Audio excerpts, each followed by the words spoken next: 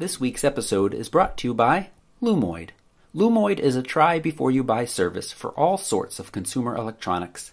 From camera gear and drones to fitness trackers and audio equipment, they have an extensive collection of gear, and you can check them out at lumoid.com slash photorectv. This week, new Lumoid customers can save 15% off their rental by using the code PHOTOREC15.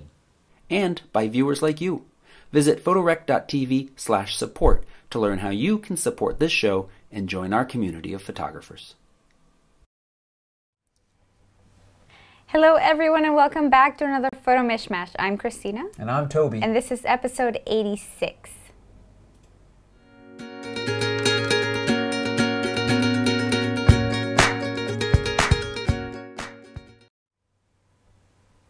Hello, everyone. I already said hello, but hello Welcome again. Back to another Photo Mishmash. Yeah, so every week we bring you photography news, discussions. We announce the winners for our Instagram challenge. If you don't know about that, check the link notes down the show notes down below. And at the very end of each show, we answer your questions live. So if you have a photography related question, post it on the chat now or throughout the show, and we'll add them to the queue to answer them at the very end of the show. That's right. We have a pile of announcements to talk about this week. We got CP Plus coming up, so all of the camera manufacturers and lens manufacturers are just barfing out new gear. We'll talk about that stuff. Yeah. I wonder if it's smart to run two giveaways at the same time. You know What what? do you guys think? Let's go ahead and do that. We've got an exciting new giveaway on top of the other giveaway to announce. This one's very short and sweet, and it's very sweet. It's not candy. Um, we got those Instagram challenges, your local photos. Your participation was fantastic. Yeah. This was, in my memory, I had the most difficult time picking. There I were, did There were too. many, many awesome pictures. Yeah. Loved seeing glimpses of your hometown. Yeah. I participated twice, which is a record. Did you participate at all, Christina? No. Dang nabbit. I know. And um, what else? We got the photos from space, and we're going to be answering your questions, as Christina said. And uh, then we kick it off in the after show where we poke the cat. So let's get started. Yeah, let's get started. And uh, uh, first, in case you missed it, so last week, or not over the past week, the 80D was announced, the Canon 80D, and you made a video about it. That's right. Um, so I'm not going to talk a whole lot about it. it. For some people, that Canon 80D, which sounds a lot like you have ADD, attention deficit disorder, um, represents a, a nice upgrade, and it certainly represents a nice upgrade from people from earlier Rebel models. I'm honestly not excited about it. Um, you know, there are. It's it's a very different market than it was just a couple years ago when the 70D came out. I mean, the GH4 is just fantastic for people who are very interested in video, even though that's an older camera now. Uh, and there's just there's just so many cameras that are kind of specialized. So if you want like a really good video camera, there's another choice. If you want a really good photo camera, there's other choices. But on the whole, it's a nice camera. So you can go see my thoughts about it. I've also got a post that tells you what's different between it and the 70D and the T6S. Um, and um, what else? The last vlog as well. That's right, the So- last vlog from New Zealand. If you didn't watch the last vlog, go do that. Maybe not now, maybe after the show. And if you haven't watched any of the other ones, go and do that as well because they're really awesome. And I know that I'm really biased because I helped make them, but they really are. And we've incorporated some photography tutorials along with like really cool scenery from New Zealand. And they're just really fun. And some of them are kind of funny sometimes. And yeah, I'm doing a really great job They're funny selling it. 'cause They're of us. kind of funny. No, they're know. funny like the other people that we were lucky enough to go on that trip with, and, Yeah. you know, in, included in the uh, shots. Yeah. Um, I, I'm really happy with them. I'm also pretty proud because a lot of editing comments on the last one, which I mostly edited. So, hmm. Take that where you want, Christina. I didn't realize it was a competition, but okay. Everything's a competition. I'm a man. Uh, so that so that in case you missed it, let's see. And I mean, we're going to talk about these in the news stories, but I have blogged almost everything that's been barfed out by the camera manufacturers in the last week. Nice. Yeah, so I've had some time on my hand. So yeah, so check out photorec.tv for all of those things as well.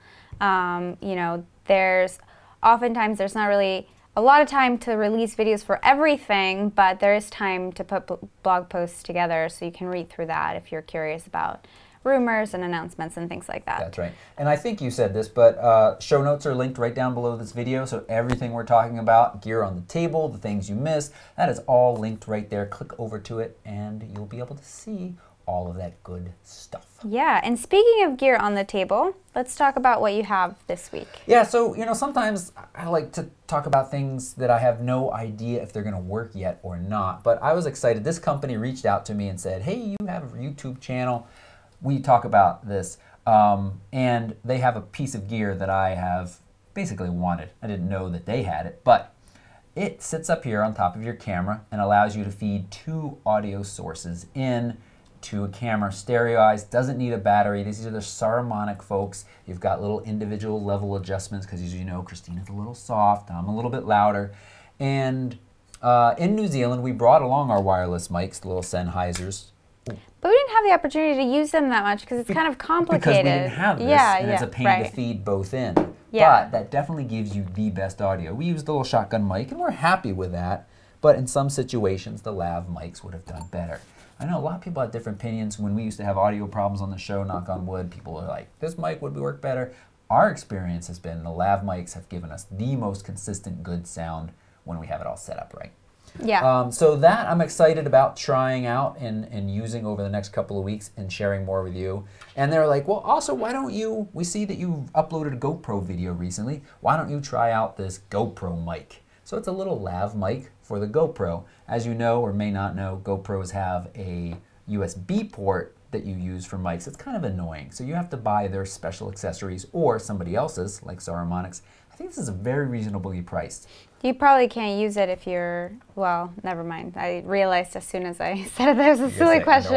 yeah. I meant with a case, which it doesn't necessarily mean that you can Right. take that underwater. They so. do have the skeleton cases that allow you to hold the GoPro Yeah. and put it on things. What I appreciate though is that they realize if you've It if looks like a tiny little wig. oh, that's our, we have a guest. Do we have a guest? Uh, Teeny tiny scientist wig. um, mad scientist.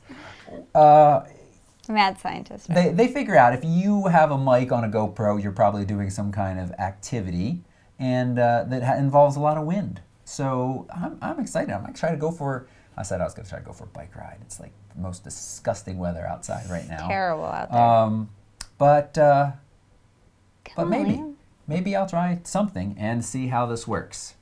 We you know this isn't really what they sent the gear for. they didn't send us cat toys. You need to start your own channel of cat toys, and then you get to do that.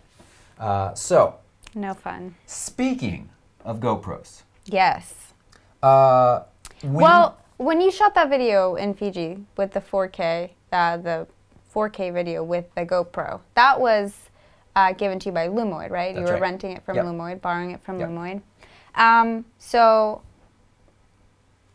for our giveaway, Lumoid wants to give one lucky viewer out there a GoPro, not a rental of a GoPro, uh, like a full-on GoPro that you get to keep, Yeah. just for you. yeah, let me talk. I mean, So yeah, let's Yeah. talk about it. Well, so I mean, I have a GoPro Hero 3 Plus. It's a it's a little fritzy, and I knew going to New Zealand that I wanted to do some of the 4K time lapses, and I knew going to Fiji afterwards that I was going to do some snorkeling, and I wanted something that was going to uh, be reliable. Mine is not so much reliable anymore after it spent last summer a few days under the water in the river. Uh, so borrowed from Lumoid the GoPro Hero 4 time lapse fantastic the video lapse because it'll create that in camera which i really appreciate when we're trying to do these things quick on the go so i mean that's why lumoid and services like lumoid they're perfect because they allow you when you need a piece of gear for something specific or you want to try a piece of gear out to do that yeah, they have, you know, cameras, drones, like pretty much just about anything you can think of. And they have a great selection of fitness trackers as well, which I was just over at my friend's house recently. And she was telling me about wanting to track her fitness and like not being sure. She goes to cycling classes and she isn't sure how much energy she actually spends working out. So um, I told her about Lumoid because it's a really good idea to just like grab a bunch of fitness trackers, try them out, keep whatever one you want, and then same with cameras and camera gear. It's That's nice right. to be able to try before you buy. That's right. And that that's the next level that Lumoid takes it to that, that's really nice is because you try this gear out, you're spending money on that, I recognize that. You earn credits towards purchasing this gear later on down the road. Yeah. So later on if I decide I want because I really need the Hero 4, I really need to replace mine, then I have not like just thrown away all of my money. Right. Some of it has gone towards purchasing that. That's really valuable. So, the big question you all might be asking is where do I go enter? Right now, you can go to photorec.tv. It is on the front page. If you're watching this after the fact, just check the show notes, and one of the top links in the show notes will take you to the giveaway page. Just put your email in Yeah. there. It is open to U.S. residents only because Lumoid is a U.S. company. Sorry about that, but um, and how long does it last? one week. Yeah. You got one week. Get your email in there. I hope you win a GoPro Hero 4. I'm really excited. I love being able to do this. It's fun, it's exciting, and I want to see what you all create. So, Yeah. Go enter right now. that's right. And if you are thinking about renting, lumoid.com slash photorectv and that coupon code photorectv15 or photorec15. Help us out, We'll put that in the show notes. Um, he's looking for it. Sorry, Uh, I didn't mean to put you on the spot. um, that will save you 15% off your first rental. order. Great. So, all Yeah, right. look at it. Look for it in the show notes. All right, now we're going to move on to news, and we've got some announcements. First one is Before before we get that, can I can I barf out like all the camera manufacturers have? This is thanks to Yeah. Dalibor and Jeffrey who are in the chat a little early, kind of like summarizing everything that's been released. okay. Two Tamron full frame lenses, two Sigma APS lenses, a Panasonic, which is a Micro Four Thirds lens. Venus Optics is coming with a 12 millimeter f2.8 full frame. There's a new version of the Mitakon 35 for APS-C cameras. Then there's the Nikon DL series, three cameras that were announced, plus the Coolpix 3 series. I don't really care about those. We've got the Sigma DP, the Tamron SP. That's not a camera, right? That's that little, what are we calling the tap in? What is that Tamron SP? Uh, the Nissin Flash, the i60, the Sigma E EF630, the Panasonic Lumix G16 to 80. What do we miss? The Sigma MC mount. I mean, there's just been, oh, that four new action camera from Ricoh. Uh, there has just been a pile of announcements. We're going to touch on some of them. Most of this stuff is linked in the show notes. So uh, if you're interested in reading more all about it, you can find that link below. Yeah. What do So you want to start with? First things first, I think this is kind of exciting. Um, Sigma is releasing a mount, a Sony mount that will allow people to use Sigma lenses on the Sony. And I believe they only have, do they only have Canon version of this or do they also have Nikon version? They do not have a Nikon version okay, right now. Okay, so it's They- only Canon. Canon and Sigma SA mount. okay. So if you right. you know are one of those three people that has a Sigma SA mount lens, It's about $100 cheaper than the Metabones adapter. Isn't, it- isn't it a little bit cheaper than that? Because it's two forty nine. What's the Metabones adapter? I think it's Uh, three ninety nine. Oh, it's 150 150. $150 cheaper than that, than the Metabones. Yeah. So it looks really promising. We'll see how it actually, uh, you know, performs. what what has been our experience using the Commlite and the Metabones with Sigma lenses? The Metabones is okay, the Commlite is not. Um, it depends really on what lens and focal length you're using. And well, with the Sigma specifically, because we have oh, with the Sigmas, not at all. Yeah. Not at all. we've got the fifty and the thirty five, and we've had very poor results. Yeah, you have to with the manual focus. Metabones a little better, but not But really. not really. No. Yeah. Uh, so this is this is I, obviously Sigma has seen that as well. Now the question we, we were chatting before the show: Will this work with other lenses? Yeah, I don't know. It's I'm curious because what is it that makes a Sigma lens uh, different enough from a Canon mount lens that won't allow it to work on this adapter? Is there going to be some kind of proprietary Oh, software or hardware or anything? Did I miss something on the article? Well, there's or- a tiny little bit of text at the bottom of this that says also Canon lenses will work with the new Oh, adapter. there we go. This means, and then the rest of it's gone. Sony Alpha rumors. Where's the rest of that text? So yeah, I mean, then for 250. Now here's the question though: Will the Canon lenses work as crappy as the Sigma lenses do on the other adapters? yeah, that's a good question. Um, but for 250, this makes it a lot more reasonable, and I suspect the Sigma lenses will work very well. It Sounds has to be pretty cheap because this this market of people that It's have very like small. you know yeah. Sigma. Why can't they just start making FE lenses, Sigma? Mm. I wonder why. This actually worries me that they're not going to anytime soon because they're going to be like, here's our adapter. Well, it sounds like you're gonna have to get this in for review and really figure out how well it performs Yep. before we can make any. Any more decisions, Conclusions right? about it. We love our Sigma lenses. Yeah. Um, and does, is that a good segue into yeah the next news story? Yeah, so this is pretty exciting. Sigma has released a 50 to 100 millimeter lens with a fixed, well, I guess not fixed, but a maximum aperture of Yeah, it is fixed too.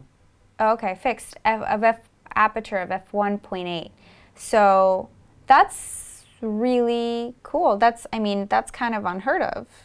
It is unheard of. Yeah. It's similar to what they did with the 18 to 35. Um, also, that kind of uh, f1.8 range. How I described the th- 18 to 35 in my review years ago was uh, it's kind of like carrying around a little bag of primes because it covers that 18 range, it covers the 20, 24 range, you got the 30 and the 35, you know, all at f1.8. Here you've got a 50 f1.8, you've got a 85 f1.8, and a 100 f1.8. Yeah, Now, that's all the good news. yeah, It is crop sensor only. Mm. Some people were really excited because they're like, "Woo!" It is a thousand dollars, yeah. But I mean, it's, and it weighs three pounds. Somebody said. ooh, Where's that's heavy. Yeah, it's it's you know, it's beefy. I mean, I ex- Yeah. I I believe that because the uh, let's see where is is the weight in here? No, of course they don't have. Oh wait, there's more. Nope, still no weight. Oh, physical. Yeah, three point two pounds. Whew. That's That's like a 70 hefty. 200 F28 because that's kind of what it is the APS-C version of this. Now, somebody asked me on Twitter, I don't know if you saw this, you've been busy. Um, somebody asked, would you ever consider shooting a crop sensor camera uh, with this lens at a wedding instead of your full frame 7200 stuff? no. Why not? Um, because I, I mean, I hate hypotheticals because, like, are they asking if I would get a crop sensor camera or if like I had one? I think if you would like Get I- I mean, I can save you some from this hypothetical because I, I, I mean, I'm, I'm wondering what they think the advantages are. There's not really any weight savings advantage when you put this brick on the end of your camera. Uh, yeah, um, and yeah, it's going to kind of balance out. You know, sure, current crop sensor cameras. You put this on the D500. I bet that would be pretty fantastic. Low light quality, I expect, would be pretty amazing. Yeah. Um, Yeah, but the thing is, you know, once you do, once you factor in, once you calculate the equivalent uh, aperture, when You you, going put Northrup it, on us? I'm going Northrup on y'all. yeah, once you calculate the equivalent aperture, it's not. Is it really going to be a one point an f one point eight? So yeah, yeah. So, so I mean, it kind of all weighs out, um, and you've already got a full frame camera that works for you. Yeah. And so, don't really see any advantages to that. But I thought it was an interesting question, so I passed it along. All right. yeah, well, That- now that's not the only. still seems like a really nice lens. So Yeah. uh, Tamron has also Yeah, there was another Sigma lens though, and I, I, I linked it on um, on my site. Uh, the Sigma is it 30 f 1.4 for E mount and micro four thirds lenses. Uh, I'll just say briefly because we don't have a link for this. I don't know why. I thought we did. Uh, it's a clear, curiously not part of their art series though. It is their contemporary series, which I found to be good, but not at the level of the art series. However, that's allowed them to keep it cheap. It's only 350. Here's what I'm thinking about, folks. I said I wasn't going to say folks anymore because Sarah Palin says it too much. Um, of political now, huh? the A6300, which I'm going to know a lot more about next week, and that 30 millimeter lens seems like the smallest, most amazing low light package you could get that shoots 4K. I want to say that. I I just think that combination, a 30 f1.4 lens, yeah, yeah, equivalent Northrup stuff. I'm not dismissing it, but you know, until they all do it, we just have to go with what they say. Uh, on that camera, could be pretty spectacular. So are a lot of other lenses too, but all right, Tamron, what do they got? Uh, so they've got two new lenses.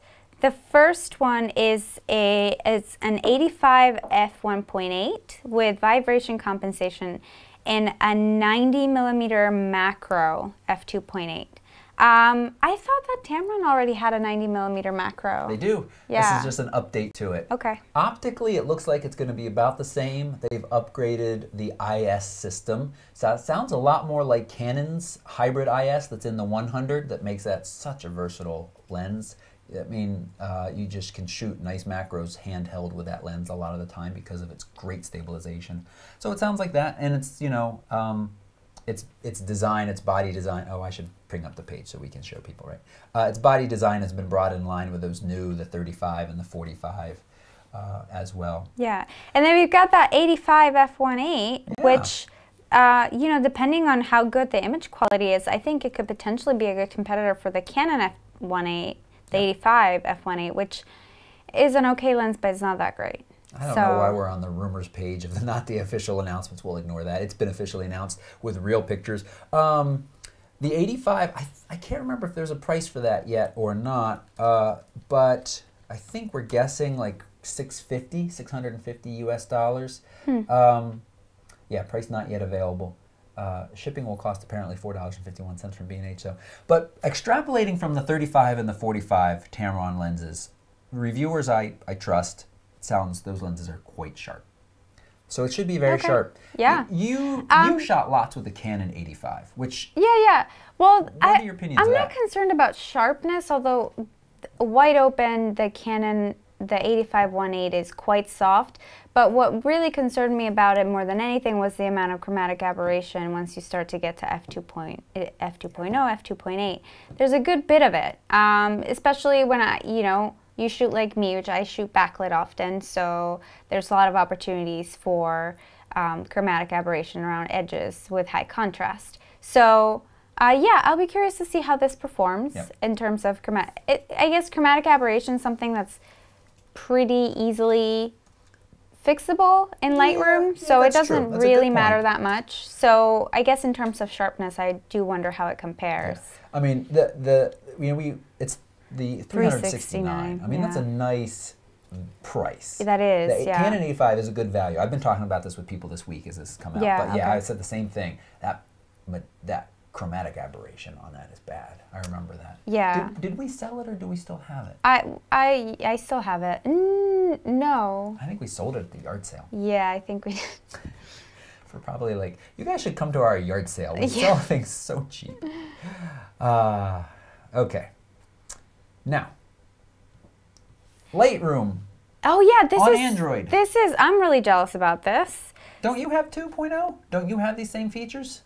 I don't have the the raw the raw capture Oh, capability. yeah. Not yet, anyway. Yeah. So Lightroom uh, has been updated for Android, and it is the world's first end-to-end mobile raw photo app, which means that you can use it to take raw images with your phone, and you can edit the raw images, you can export them, and you can share them immediately. So Yeah, you know, you can't really see, but now in the interface, when you're at the base part of the interface, you just have a little camera button. You press it, um, and it is the Really camera cool. that captures DNGs. So I wonder if it's because of Apple sort of closed off, um, the what would you call it, like The API. the API? know, yeah, the you can't.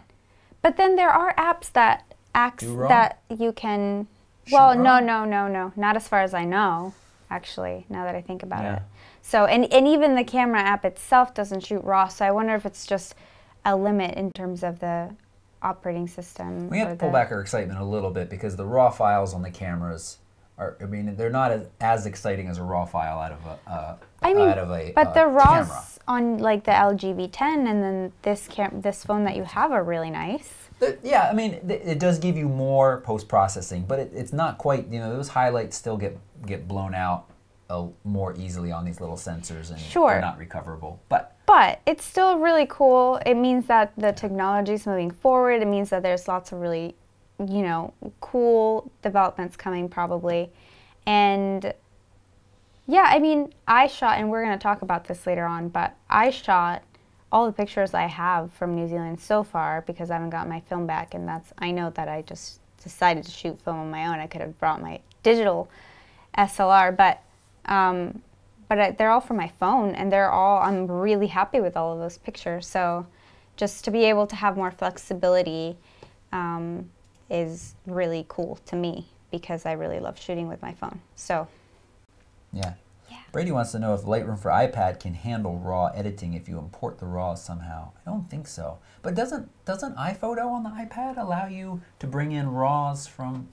Shoot, I can't remember. But uh, so I can't don't remember those so. things, so I'm not going to talk about them. Uh, but I will don't say so. that I still am a Snapseed fan. But I feel like I do need to break my Snapseed habit uh, because there are some really nice tools in Lightroom. The Yeah. tone curve, that's the other big update. well, they've is- updated yeah all of that. Yeah. And for iPhone, they updated that a long time ago. So I've been I've been really Use it a using that a lot. Yeah. The only thing that I don't like about Lightroom is that uh, about Lightroom Mobile is that their sharpening feature they don't have a sharpening feature. They just have the Clarity. clarity, adjustment, which I feel like makes pictures kind of look muddy. I like the crispness of just being able to like sharpen the individual pixels, which I do on Instagram after I've exported from Lightroom. So I don't actually sharpen in Lightroom Mobile. I sharpen on Instagram I I, would like. love to get from you your workflow. Yeah, I would love to share that. I think that would be fun. I would love to do a, a Lightroom uh, versus Snapseed. It's, it's on my list. It's creeping higher up as we get other videos out of the way um, because I think they both have their strengths. And again, like I said, I, it's kind of stuck in. I just go right into Snapseed because I'm very quick with it. I'm not as quick as Lightroom Mobile, but um, I want to try it more. Yep. All right, next is Nikon has announced three new cameras. They are uh, Oh. what? No, sorry. No, go ahead. Um, they are one. They have one inch sensor, so that falls into that category of like compact cameras with a one inch sensor. Yep. And we were having sort of an interesting discussion in, before the show because this is essentially the same camera with three different focal lengths. Like there, pretty much nothing else is the same except the focal lengths, and it's a Nothing fixed length. different. Nothing else is different.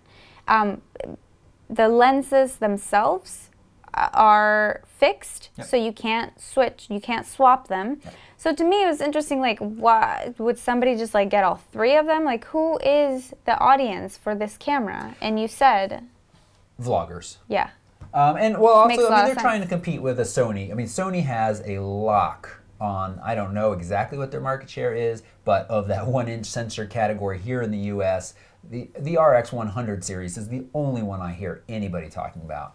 Um, you know, I've seen uh, Tony's tweeted recently. He's got the Nikon J series in his hand. I don't see anybody talking about that really in the U.S., and I never see anybody using it. We traveled to New Zealand. There were um, a lot of Asian tourists because we're pretty close to Asia, uh, and so I definitely saw some Nikon J series then. But getting out of the loop. Anyway, you've got three cameras. As you said, basically they're almost all the same except for the focal lengths. The first one I think is the, is the best for vloggers. It's an 18 to 50. There are very few point and shoots that start that wide, 18. So you can hold it out, you can get yourself and everything. It's got a flip up touchscreen. That's a fast Yeah. lens, f1.8 to 2.8 as you zoom. Um, and it offers perspective control to accurately depict architectural subjects and uh, correct for converging lines, which I think is nice. You have to add that when you're shooting wider like that. The next one is the 24 to 85 f1.8 to 2.8. I think this is what most people are going to buy. It's got a built-in ND filter. Uh, it's got a super macro mode and focus bracketing. And this one is, I think, the, the nicest price at 646. The other two, they're pricey at 846. and why is that? Is it because of the optics in them, or what? I think I think the, the 18 to 50 going that wide is difficult and point and shoot, and they felt like that was kind of special, so they could mark it up. Yeah. Uh, and then the last one is a kind of a super zoom, and it, it, it has a slightly different size and shape too because of that. It is a 24 to 500 f2.8 to 5.6. It offers a sport VR mode that really helps you stabilize as you're tracking subjects with that on that longer zoom. It also is 996, and you could throw on this little adapter uh, viewfinder bit on the first two that will um, give you an electronic viewfinder. No word on price or availability yet on that.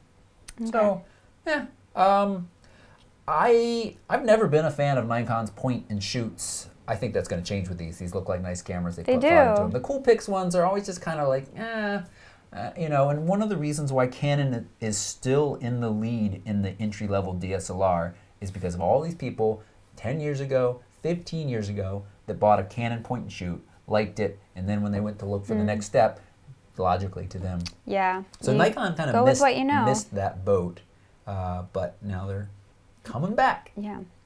So next on the news list is kind of a cool um, piece of gear that it's also it's it's I'm not sure how I feel about it. So it's a it's a neutral density filter, and it's a Kickstarter campaign, um, and it's an 11 stop neutral density filter, priced at $150, I believe it's 149 maybe 159 $159. so thoughts about that All right. Um, neutral density filters can be really useful for really blocking the light, slowing your shutter speed down, even in the middle of the day, getting some kind of cool, dreamy style pictures. Uh, they were pretty popular uh, with a couple different people on the New Zealand trip, uh, liking to use those. I my experience with variable neutral density filters is it's very easy to get the dreaded cross in the sky. This is when you crank it to a certain direction because basically what it is is two circular polarizers in reverse of each other, uh, and it's kind of magical how it works. But at certain strengths, usually at the stronger end of things, you just get this band across the sky. So then you say, okay, well, I won't shoot the sky. There's a lot of times where it's really hard not to shoot the sky, and you also can see it in other kind of shiny, reflective places. I don't see anything about that here. So I'm nervous. I'm also nervous that it's Kickstarter because Kickstarter things fail all the mm, time. yeah And this price, i actually you know i went to their website and tried to l- click on the on the kickstarter link to watch the video because usually like that that's a really good uh, way to learn about the product and i couldn't find it i couldn't find the kickstarter link went to the main kickstarter page and not to their actual kickstarter page so all right, here's a picture where they got um, the sky in it, and apparently they're using it right now. yeah So I don't know. The other thing is color casts. Now Mm. There was a article someplace else today. Chat room, you can help us out with that. Someplace else this week, early this week, that was kind of a rundown of neutral density filters. I don't think it was variable ones, and what kind of color casts they added. And it was some brand that I hadn't heard of that actually was the least color casty. But my experience in Iceland. And my experience uh, on the New Zealand trip uh, using these neutral density, you get color casts, and it's tricky. If you're on a budget and you want to do long exposures, just get up early in the morning before the light gets up or stay out late after the sun goes down. That's what I did for years and years and years. don't be lazy Yeah. Okay. All right. Uh, next It could up, be great. Maybe they dealt with the X somehow magically and it's a fantastic thing. yeah, maybe. You know. Next up is a new gadget. Uh, I guess it's a gadget. It's a tool, but is it really that useful? Tamron has announced a tap-in console to customize Lens AF firmware and more. It's This seems familiar. it's yeah, it's exactly this the thing that Sigma released a while ago to Sigma update USB dock. yeah, to update the firmware on lenses and to update to make uh, micro adjustments and uh, things like that. So I'm just wondering, like, is this really worth the money? Like, you can make micro adjustments on your own. And Well, no, no, no. See, here's the, the here's that thing. I thought, you know, I like to be honest with you. Sometimes I like to pretend I'm smart, but I'm just gonna be honest with you. I thought that's what that USB dock did. I thought we were gonna buy that. We were gonna plug in our Sigma 35, which Mm, yeah. we were having. We we thought we were having some issues with, yeah. and we were gonna be able to like fix itself. No, you don't do any micro focus adjustments with either of these. Um, what you can do is kind of customize the AF, maybe speed it up, slow it down, set the limiting points that the switches correspond to, all of that stuff, Yeah. and upgrade firmware. Which you said, since when do lenses need to get upgraded firmware? yeah. So Well, my answer is the technological progression, march down the road, things are getting more complicated, and as we get Yeah. adapters in between the cameras and stuff, and as cameras update and focus systems, they want to be able to change the brains inside the lens as well. It doesn't really have brains, but the firmware. I should just say what it is. Uh, so, yeah, eh, I I was I was really underwhelmed with the Sigma's version. This seems to do the same thing. I think for some people it's useful, but and I think it's pretty cheap. See, they do have listed here though on the little screen. Yeah, and they I thought Sigma adjustment. did too. No, it only let us change like the points where we wanted to start and stop. But there was no way That's to lame. say, "Hey, it's out of focus. Let me adjust this." Yeah. And the thing is, wrong. like, so the dock is only supposed to make the firmware updates easier, but really you could just get a USB cable and plug it into your computer and probably download the firm. It's not like you have to have that thing to download the firmware updates. So it really just seems useless to me. Yeah. I- useless might be a strong word, but Yeah, okay. But not it n- worth the money, maybe not. we're not excited about it. No. All right. Hey, Uh, let's uh, let's. This next news story goes out to David, who's in the chat room right now. DJI. oh, sorry, yeah. No, go ahead, go ahead. DJI will now sell you insurance to cover your inevitable drone crash. DJI is pretty smart. Yeah, they are. Yeah, they saw an opportunity, they jumped on it like immediately. um, Good job, DJI. uh, you, David, do you want do you want me to tell folks that uh, you are flying your pretty new drone after the New Zealand Oh, trip, man. and somebody did a cannonball a little too close? Water, electronics, they don't go so well together. But apparently, DJI is, they're going to fix this, and they can waterproof the internal electronics for you.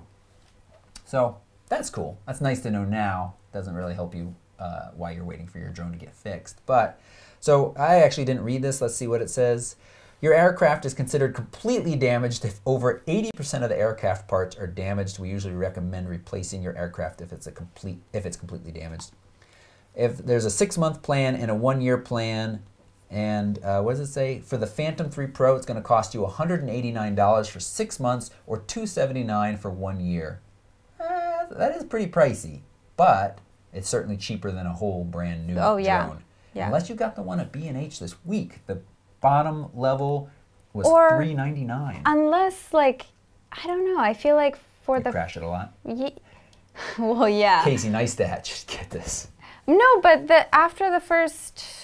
Yeah, I guess if you only if you crash it a lot, but if you don't crash it for like a few years, like two or three years, then it's like the you you have paid enough insurance to just buy yourself a new one. So Right. if Well, you're that's- fairly that's what careful insurance with it, is. well, yeah, I know, but if you're fairly careful with it, I mean, our house hasn't burned down in three years. So like, right, you know, right, right. Let's not get our- insurance. Can we have our insurance money back? We didn't need it. Right, right. Yeah. No, The I understand that. The Inspire, uh, which is that higher level one with the little feet that fold in and everything, that's going to cost you six ninety nine.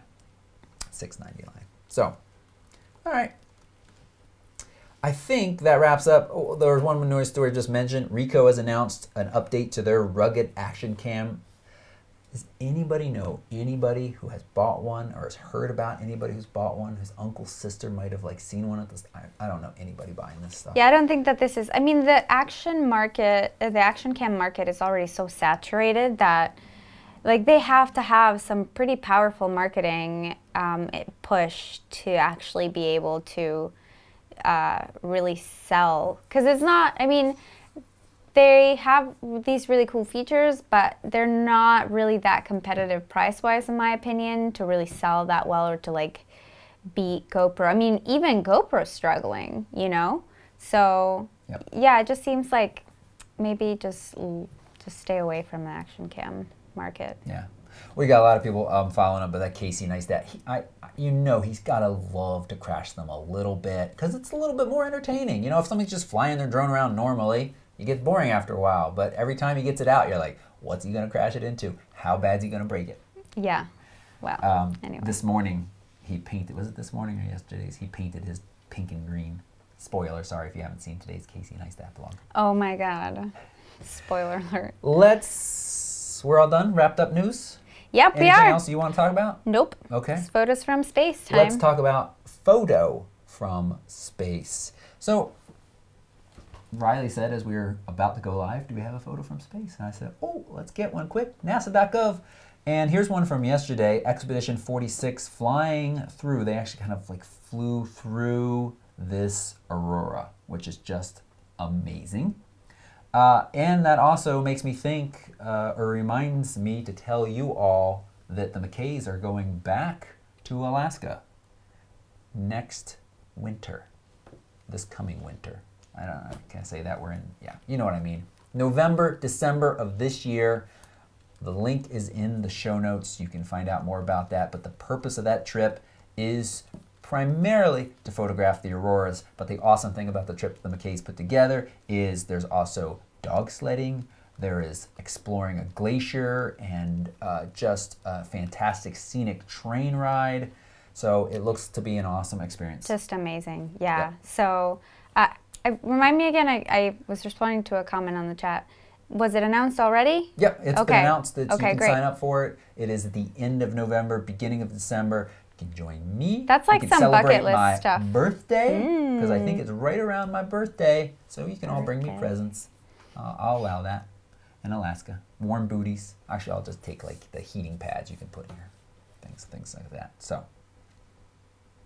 Yeah, cool. So all right, Blake we're McKay Photography Academy is in the chat room, yeah. and I guess it's Allie because unless David's talking about himself in third person, it's not good, David. Uh, David had two big totally throwing David under the bus. yeah. yeah. Well, you know. Nicely done, Allie. Nicely done. Yeah. Um, okay. Uh, so let's talk about the Instagram challenge. That's what's next. Um, so as we mentioned last week you guys submitted so many pictures which was really awesome and they were all so fantastic so thank you guys we really wish that we could like show off all of them but we don't have the time for it um, so we'll go scroll through them in a second the theme was local so yes. we asked you to take a photo of something from your the town, the location that you are currently in. Yep. So do you want to go first? I do want to go first. I've got my first honorable entry on the screen.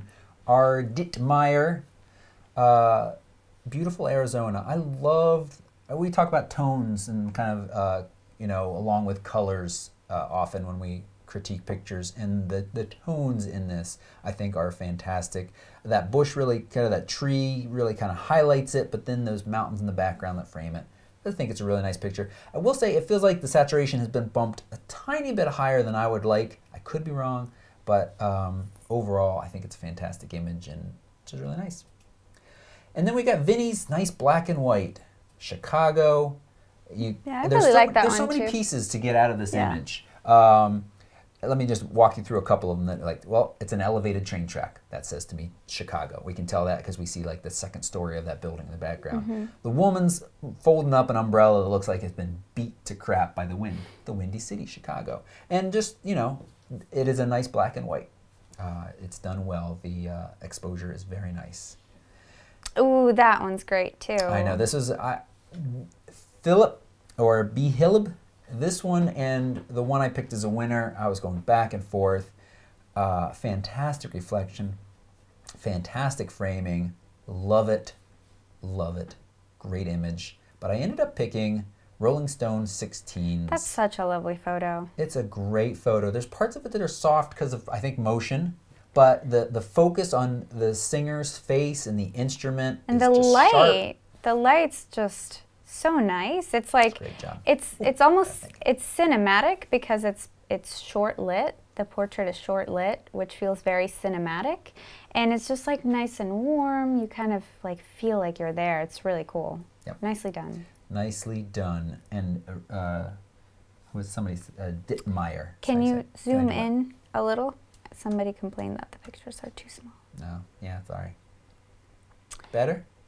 Okay. Uh, your first runner up.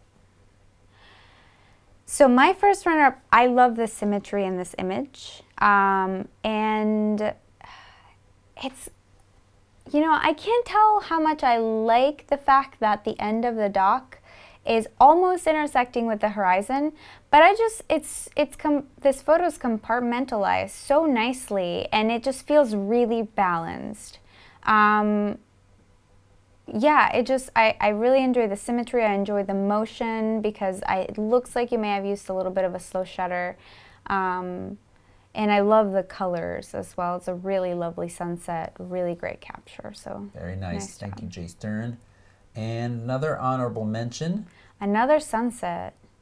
Um, That's a little unlike you. that is a little. Unlike Actually, this is a sunrise. Oh, okay. There we go. See. It's all okay.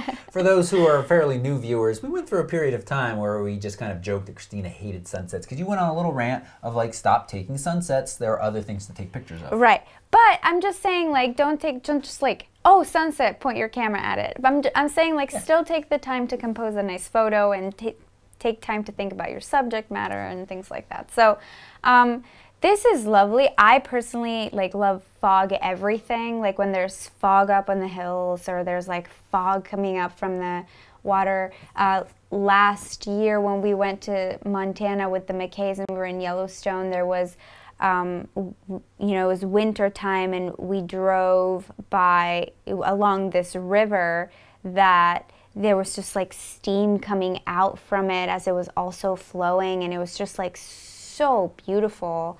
Um, so I love, I mean, these types of pictures. And it's kind of hard to capture it sometimes, you know, like it doesn't always look good.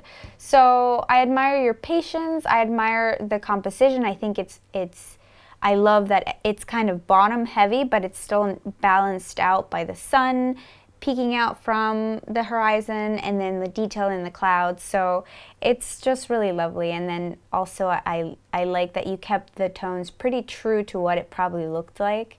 Um, so I, I kind of feel like I'm there. So Nice. And you happen to pick the same dude as your winner. I did picture. because this is such an awesome picture. Um, I love the perspective. Like, um, I love the fact that you were able to get detail from the inside and the outside, even though the the the contrast was really high and the dynamic range was really high. Um, and again, it, it feels very compartmentalized and very organized and very balanced and it's i think you mentioned that maybe it could be cropped a little bit from the right like well, just just excuse was, me like the tiniest I was bit bothered just by a tiny bit by this stuff peeking here. yeah and I, I mean you could nitpick it you could say like oh maybe don't crop that dude but then at, at the bottom you know like you cropped his butt off but Yeah. um but it, i i don't mind i think that they're great photo it's a great image and i love the the tones and the light looks like the sun's probably pretty low in the sky because it's kind of coming from the side so yeah it's just really nicely done Yep.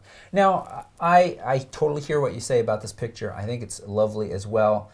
But I think somebody could look at this and say, uh, kind of looks like a snapshot that they just took real quick. i disagree Why? What what what to you do you see? I'm not I'm not arguing. I'm just asking. What Yeah, do you yeah. see that really stands out to you? Um, this is where I have trouble sort of uh, articulating what makes this different than a snapshot. So, first, what makes it different than a snapshot is that there was some processing done. So, obviously, this person took the time to even out the tone so that you could see uh, detail from the inside of this location and the outside.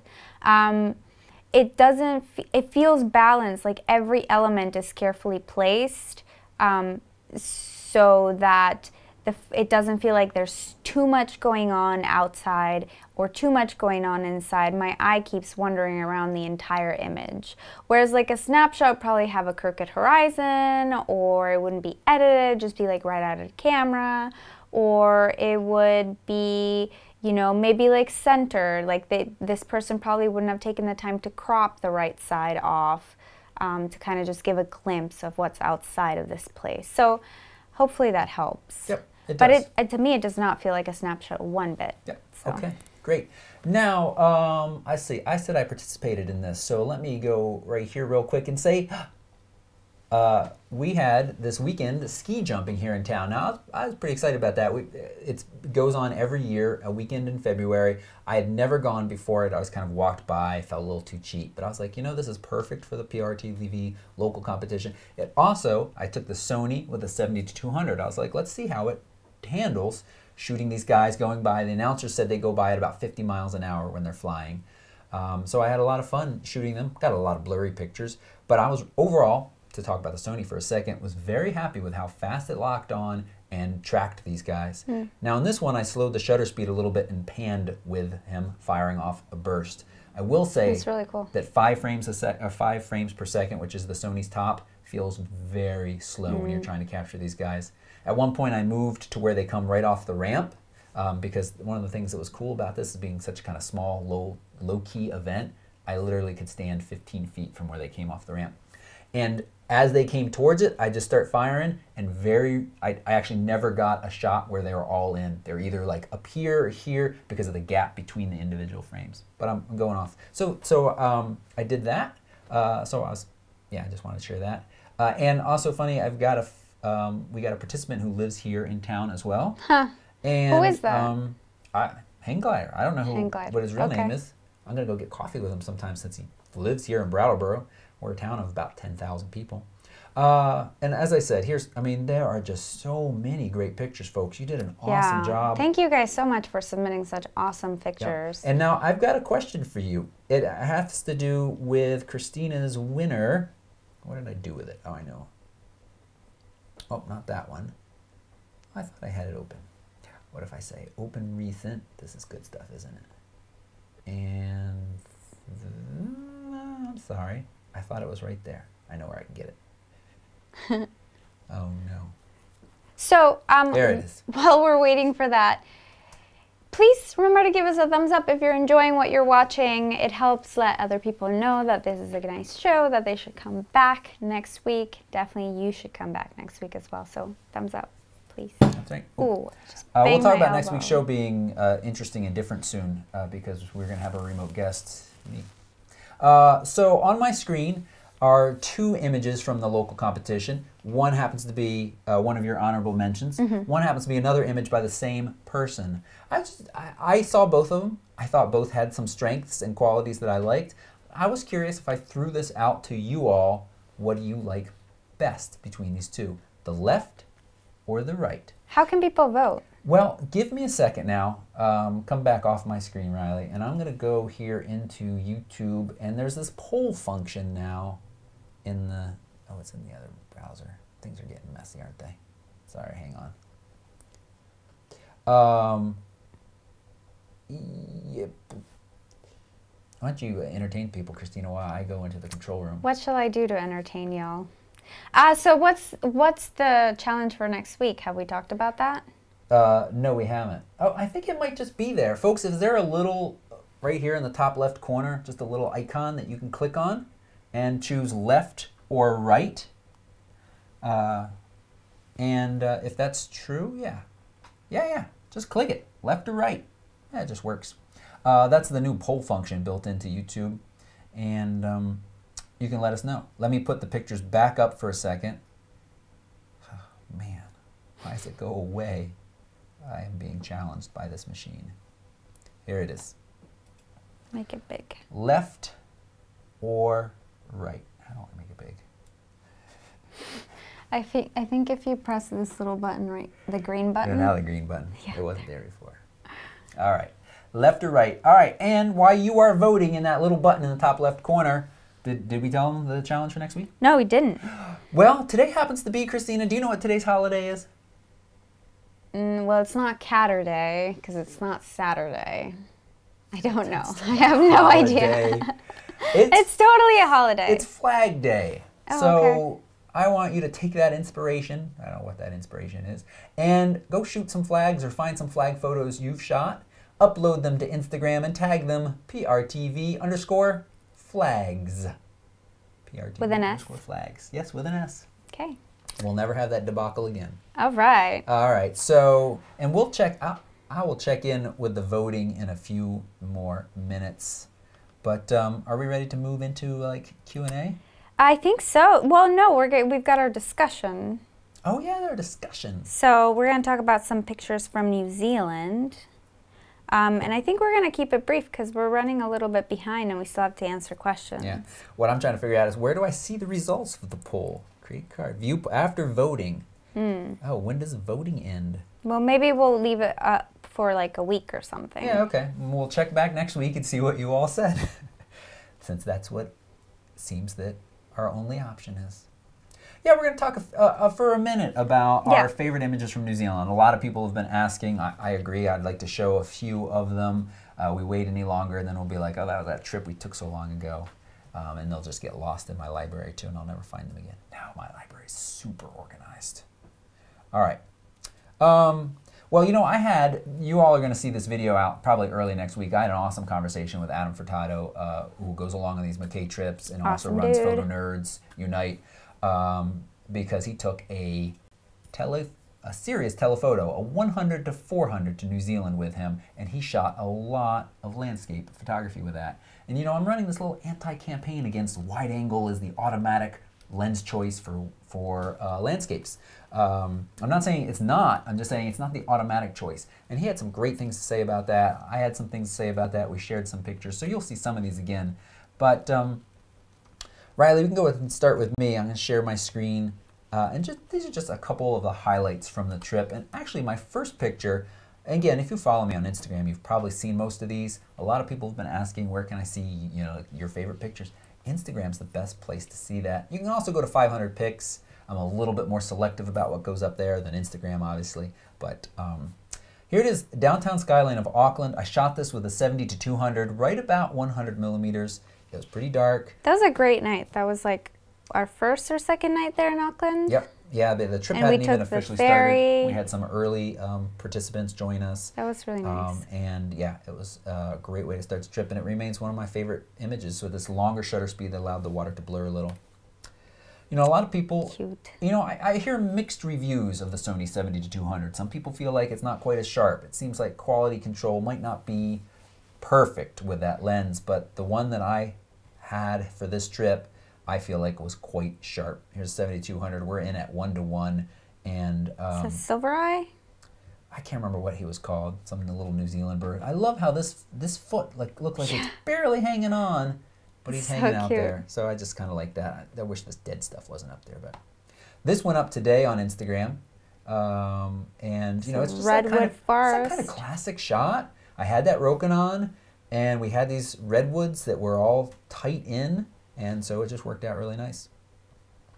The mud shot. Hmm. Let me do something for a second. Let me uh, back off my star rating and show you how many of these mud shots I shot. I shot a lot of them. The D, that was very um, smoky, foggy, steamy. Steamy is what it was, and stinky. Oh, this one's pretty good too. It looks like a face going. Oh, it does. Oh, that one's great. I should move that back up to it too. Yeah. Um, the dehaze function worked really nicely with these, but I just I shot a ton, and the one that I have right here is one of my favorite. Outside of Christchurch, That's beautiful. 7,200 again, up at about 127. It really allows you to kind of compress the foreground and the background and tightens it all up um, and not leaves it all kind of loose and you're wandering around trying to figure out what the subject was. Some nice roses in the uh, Christchurch Botanical Garden. More. This actually, I believe, Christina, is your shot because this is with the Sigma. Yeah, Is it one of your favorite shots or you just I like think it? so. Yeah. Well, I don't know if it's one of my overall favorite shots, but um, but I like it. Yeah. This was the view, literally, I took this, if you watch the vlogs, you know, on the uh, balcony of our hotel room in the Mount Cook Regional Park. Again, with the 70 to 200 at 70. Mount Cook there in the background is the snow capped one. I just love this image. Similar image uh, after the light levels drop to kind of like the twilight feel to this. And then the stars. Not only the stars and the Milky Way, but those mad, ma- uh, Magellanic, Magellanic clouds sitting off onto the right, which are some galaxy clusters. Pretty awesome. Another kind of classic road shots. I, you know, I didn't come up with anything. I don't think I shot anything on this trip that was like super creative, no one's seen before. But I'm happy with the shots I got in these kind of amazing locations. I mean, that's why you come to these places is to take those like pretty classic, yeah, yeah, it's true. cool shots. Um, this, do y'all see what they're doing here? This is a little reflection. They've got the sign upside down backwards so that the reflection spells it out right. I think that was pretty clever. It doesn't look that sharp when I zoom in there. Oh, there it Oh, goes. there it is. It hadn't loaded. That's pretty clever. Those Kiwis, they got a good sense of humor. Milford Sound. I, Just What do you want to say? Talk about post processing. This one and the next, uh, I clicked it over to Nik. In this one, it was the color effects, and in the next one, it was the black and white. And I just clicked around until I saw what I liked, and then made some minor adjustments at certain control points. Uh, I like Nik for going black and white. I feel like, honestly, I like to be honest with you all. I feel like I can't do it well in Lightroom. I don't. I very rarely like the black and whites I make in Lightroom. But Nik gives me that little bit of extra oomph that I like. And then the last picture on, I think our last full day after the Dart River um, speedboat, we wandered around in this area called Paradise, New Zealand. And I mean, you know, scenery. Whew. So now you sent me some Instagram ones that I have to click and open up because Yeah. why are your favorite pictures only on Instagram, Christina? Because I only shot film other than video, and I got lazy and I didn't ship them to the lab to be developed until today. So I probably won't get them back until uh, maybe Monday, maybe probably Monday. So we'll see. Yeah. But uh, but I was pretty happy with my phone photos. You want- so, Remind people what you're shooting with. What's your phone? Um, the iPhone 6 Plus. That's my phone, and 6S Plus. 6S Plus. And yeah, that's it basically. I just uh, I use the manual camera app, which I've talked about on the show before. It's uh, it's just called Manual, and I think it's 199 or something. And it lets me control the shutter speed. It lets me control the ISO and white balance, and I think that's it. Uh, but I love it because I can. It's really difficult to just get a good exposure using the native camera app. So it's nice to have that manual flexibility. So this is one that I took with my iPhone, and this particular scene was like just unbelievable. Like you could have. What what's you could have shot that with a toy camera and you would still gotten like an amazing picture out of it because it was an incredible scene. Yeah. And I just made sure that there was enough dynamic range, which is a challenge with iPhones and small sensors. So did you underexpose a little? I underexposed a little bit because there's that little cloud, and you can see that I lost a little bit of detail in that little cloud anyway, but it doesn't matter. You can't, it's not that obvious, but I did lose a little bit of detail. So I underexposed a little bit. Um, I did that with a lot of photos actually. And then I took it to Lightroom Mobile and I edited it and then to Instagram. Nice. Yep. Yeah. I like. Um, so this is very similar to my. I mean, it's the same direction I Mm-hmm. shot my black and white. I like shooting with a phone. You got a wider angle. I like your little um, glimpse of road that kind of snakes down in there, leads you further down the valley. Um, I saw. I remember you taking this. Oh yeah, so this was at uh, gosh, I can't remember what this is called.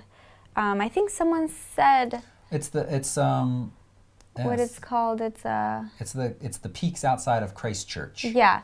Um, Somebody said on the shot I took um, that was my road shot. Was Yeah. Up here. So this I my favorite part about this picture I think is the motorcyclist because it just adds a little bit of life to an otherwise just like mm, I mean the sunset's good or it's nice, nice colors, but I don't know, it just adds a little bit of an element of life to Life, it yep. too. So I, I really like that. And I liked all the negative space. I was happy about that. I that sun just hitting the very peak of that. Ugh, I know. that was that. Yeah. As Chelsea said, sunset. dreamy. Yeah. It was dreamy. Um, this was another spot where it was like, oh my god, we have to stop. I think this was pretty. It was either really late in the afternoon or really early in the morning, but the sun was just like streaming between the mountains, and it was just so beautiful. Um, we had a we got a lot of that. Yep. And sorry, I was getting distracted by the chat room. And you took a picture in paradise as well. Yeah, so this um I just saw the like the smoke, the little the dust coming up and I was just like I have to capture this and it was a little too busy in color so I turned it into a black and white and I was pretty happy with it. I don't think I I didn't take a film picture, but I'm happy with this one. Um, I could probably darken those mountains a little bit it now it feels a little too bright, but but I'm I'm I I'm pretty happy with the shot. Yeah. So again, if you want to see um, our shots as we're taking them on these trips, or just what we're up to day to day, we both post fairly regularly on Instagram. You can follow us. Uh, those links are down below. I'm Photorec Toby. You are Christina Bernales. And uh, yeah. Yeah. Oh, that reminds me, I mentioned, you know, two giveaways. If you haven't been paying attention, we have the GoPro is awesome. That's cool. But we have, with the McKays and a bunch of other sponsors, including Thompson Safaris, an amazing giveaway to Tanzania, Africa. you, your airfare, your accommodation, your food while you're on the safari. An amazing food, safari. An amazing safari. Like, trip of a lifetime. You might feel like you don't have the lens for it. You're going to get a 150 to 600 lens to keep from Sigma. A backpack. A backpack, very. Uh, I'm not gonna pull it out. It's messy down there. Uh, a nice backpack from Mindshift Gear. Uh, print credit, rental credit. I mean, it's just an amazing experience opportunity. If you haven't entered your crazy pants, go right now to photorec.tv slash giveaway to enter. Don't even think about it. And Just if you've entered before, you should go back there. Two things you can do. There's a, a bonus entry you can earn right now for following me on Snapchat. So you go back there. If you're a Snapchat user, you can get another bonus entry. Plus, take a moment to grab that lucky URL that they give you and send it out to your friends and say, hey, I'd really like to win this. Would you enter? It gives me a bonus opportunity. And you're not going to get spammed. You're going to get emails from these wonderful sponsors Thompson Safaris, McKay's, myself. Yeah. We're not spammers. We send you useful, beautiful stuff. Yeah. So, enter. And Ali says this is the biggest giveaway ever. And yes, it's also the best giveaway ever because we're not just giving you gear and backpacks and things like that and, and just like gear, but you're getting the experience to go to this amazing place and make amazing memories and also actually get out there and create amazing photographs with the help of the McKay Photography Academy team. So this is like you could not make a better take a ha, there's like few things that you could do that are better than this to improve on your skills and to become a better photographer. So yeah. we launched it right around the time where the Powerball amount was something crazy. And I think it was Adam who said, you know, this is like the Powerball for photographers. I mean, it is just Yeah. that much of an experience. It's just fantastic to be part of this. I am super psyched to join whoever comes along on this trip. It's going to be crazy pants awesome. It's my new favorite word. Crazy pants. Crazy Okay. pants. I used to have crazy pants in high school. I think I lost them. All right. We're answering a few questions. We're Yes. running long. We are. So let's hope, Roy, I know you've been in the chat room. Thank you for your help. Yep, there's plenty of questions. Um, okay, Cameron Baldwin wants to know. I just bought a Sigma, a new Sigma 150 to 600C contemporary, Yep. and when the mounted you could win. Sorry. to the D750, there is a tiny bit of play, only rotational play that you can feel when zooming in and out. Doesn't appear to affect the images, but this is something I should be worried about.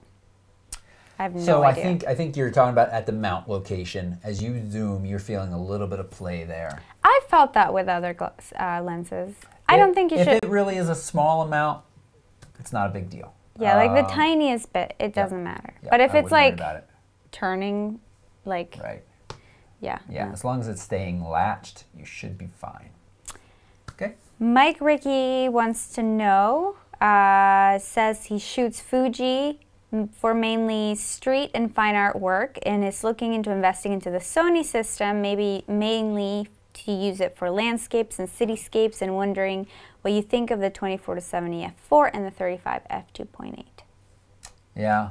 Um, yeah, I actually would say, uh, you know, for cityscapes, I think I would walk around with the 55 1.8 instead of the 35. Well, that's tough. Oh, you said, sorry, you said cityscapes, not like street. So you use the Fuji for street and fine artwork. You want the Sony for landscapes and cityscapes. Yeah, that combination, 24 to 70 and 35. Uh, uh, that 55, 55 on a full frame is just a really nice focal length. I mean, you can, you can do cityscapes with 55. It's starting to get a little narrow, but um, it is a fantastic lens. 35 is nice too. I like that a lot. It's a lot lighter weight and smaller. Not a lot lighter weight, but it is smaller. All right. Yeah.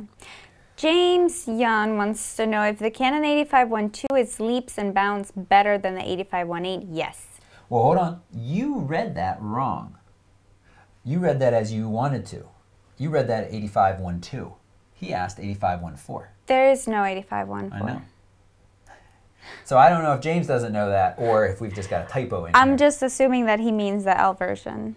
Okay. So if you mean the L version, no. I mean, yes, it's way better. Like, just, that's like, if you don't It's have the better than money, most lenses on the planet. if you don't have money to afford L class lenses, don't rent or buy or use the 8514 because it will ruin you. It'll just, it's one of those lenses that are just beautiful. Yeah. It's- So- it's, not. It's not about its sharpness. It's, it's got this It's look. color it's colors, it's and contrast. no, you know chromatic aberration, and it's just it's. I mean, it's really slow to focus. Like it's a tank. It's big and heavy, but Yeah.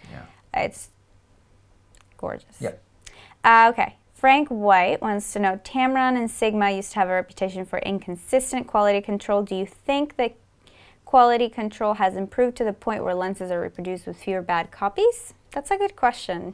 I do. The Sigma's Art Series, you know, uh, not only have we found it to be excellent, we've got two copies of the 50, one of the 35, and all reviewers I trust have found them to be excellent. Uh, so this art series, their quality control is very, very good. Um, on their, you know, under the art series, I think it's good. It's not as good, but it's still good enough. We, we get caught up in, in, in this, and I think we, I think quality control across the board in general is much better on all of these things. Tamron also as well. Um, you know, I've got that slightly infamous video.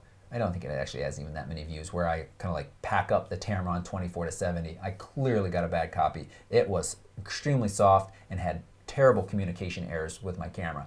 I know a lot of people that are happy with it, and I haven't heard a ton of other people griping about that. So I think Tamron's quality control might be a step behind Sigma's art series, but still very good. And the new Tamron lenses, the 35, the 45, and these 85s coming out, I believe that they will be very consistent as well. So yes, in general, yes. Taylor McPhee wants to know: Would you do consider doing a video on shooting film? Yeah. Um, yeah. That that's actually kind of a cool idea. What would you like to know, Taylor? About shooting film? Find one of Christina's film Instagrams and comment and let her know. Yeah. Uh, Tim, do we have a physical checklist for camera settings and gear for important shoots, e.g., weddings? Not camera settings, but gear, yes. Yeah. Uh, we have been less consistent about using it in the last year than in the past, but yeah, there is a, a checklist that we Yeah, go checklist. through. It's actually linked under our wedding videos. If you search the channel for the wedding videos, you can find Yeah. it. It might be starting to get a little bit out of date. Um, but yeah, it was important to run down. It's important at the end of the evening to run down too and make sure everything's back in the bags. Um, although as we got more like, you know, know which lens went in which spot of our bag, it was easier to look over it. Settings for the camera, no, there's just, we set the time and there are just, you just kind of glance over. Uh, my issue is a lot of times I'll have the camera set on something funny because I was testing it earlier in the week and then you walk into the wedding and you're like, small JPEG, whoops. But you know, always caught that in time, Most of the time. most of the time. Uh, okay. Uh, Toby, do you ever do black and white in Photoshop? Have you tried alien skin exposure yet? I love it. Vera, I avoid Photoshop like the plague. Only if I need to do serious cloning do I go in Photoshop. Um, I should probably take lessons from Adam. Uh, you know, I just, I'm just not comfortable in it. I've, I've done that in the past, uh, you know, and I use it for graphics work, but for, for changing things on my pictures other than cloning, I don't do much in Photoshop. So I have not. And I have not tried alien skin exposure yet. Yeah. I'm going to skip. Let's answer one more question and then move on because Okay. we're Yeah. falling behind. Um, so, Lewis Adams wants to know how did I get images to show my first wedding clients? And the answer to that is I second shot for another photographer who let me use the Im- some of the images that I shot with credit to his studio in my portfolio. And that's how I got my first wedding clients. Um, so I would encourage you to uh, approach a photographer and be like, "How can I help you? How can I can I do something for you? Can I come carry your gear? Can I come?" And then that's your in, and then you build, um, you know, and then hopefully you'll second shoot and then get pictures to put in your portfolio. And you have to make sure that the photographer is open to you doing that because there are some photographers who don't allow that, and if they don't, then you should make sure that you get paid appropriately and get compensated ap- accordingly if you can't use the photos. So, And then you work with them for a while and get the experience, and then maybe either shoot your own or find somebody else yeah. that will allow you. Uh, the other thing you can do is just charge a really low ball rate if you're really just trying to get into it. And I mean, this is something that I don't really advocate doing because people's weddings are, you know, they're a big deal. So, um, but if like if it's somebody who really doesn't have a big budget and they don't really care too much about quality and you just want to get your feet wet um, i would advise you to check out creative live and see if they have any of their live um, shows going on where you can learn as much as you can about preparing to shoot a wedding and then you know like sh- shoot the wedding and just let them know. I think transparency is the key here um, even if you have a portfolio transparency Time to wrap it up. i'm all done Yep. Great. We're going to answer a couple more of these questions in the after show. I think we are going to wrap this up. Remember, the after show is that portion where, well, if you're watching live, you get to see it right now. We poke the cat. Oh, you thought I was going to poke it? Nope, not until the after show. And uh, we answer a few more questions and just generally chit chat about all kinds of things. If you're not watching live, you've got to be a Patreon supporter. The show is brought to you by some of you wonderful people out there. You can support this show at various monthly levels. Three $5. $3 gets you all of our Lightroom videos, the support group where if Lightroom's acting up, deal. like this Catherine this week could not get her all of her iPhotos into Lightroom. I haven't heard back from her, but I think she's much happier now. Uh, and so that's awesome. $5, You've got a question about gear. There's tons of people in the chat right now that have questions. What if you could ask those questions anytime you want and get an answer from me, from Christina, from wonderful people that are um, there in this group. It is a fantastic group of people. And there's higher levels too, personal critiques, all kinds of stuff. Check it out at photorec.tv slash support. And you've got a couple tasks. Make sure you go enter the giveaway for the GoPro. Go get your lucky URL for the big Crazy Pants giveaway. And uh, follow us on Instagram. Yep, and give us a like if you enjoyed this show. Subscribe if you're not a subscriber already. And we'll see you next week. It's going to be interesting because Toby's going to be in Florida, so we're going to try to Skype him in. What's that Will Smith song? Going to Miami. Do any, Welcome to Miami. Any of you live in Miami? So I'll be in Miami for the Sony event, shooting with the A6300 and their new G series 24 to 70 and 7200 f2.8 lenses. Um, so I'll be in Miami for a few nights with not much to do. Maybe a photo walk, maybe a very informal meetup. Uh, again, follow me on Instagram or Twitter would be the best places to find out about those, or the Facebook page. Make sure you sign up for notifications so that you don't those don't get buried. Okay, we'll see you guys next week at 6 p.m. Eastern Time. Uh, peace Thanks out. for watching. Yep. Now the after show.